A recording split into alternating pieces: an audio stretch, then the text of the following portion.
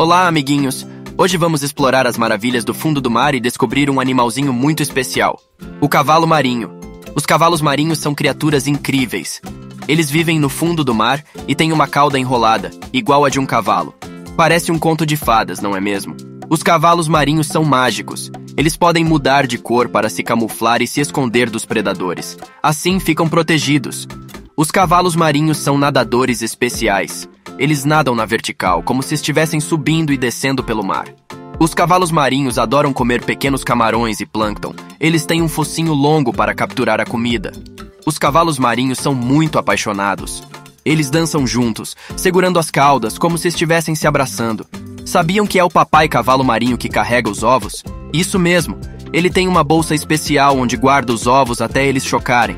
Os cavalos marinhos são importantes para o oceano. Eles ajudam a manter o equilíbrio do ecossistema comendo pequenos animais e sendo parte da cadeia alimentar. Os cavalos marinhos vivem em família.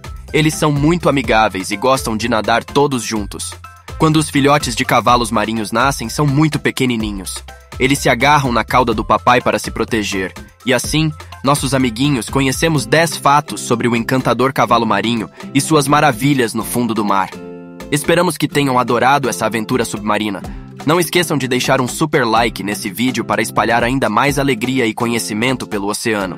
Se vocês querem acompanhar mais aventuras subaquáticas e descobrir os segredos do mundo marinho, não esqueçam de seguir o nosso canal da Fritos.tv.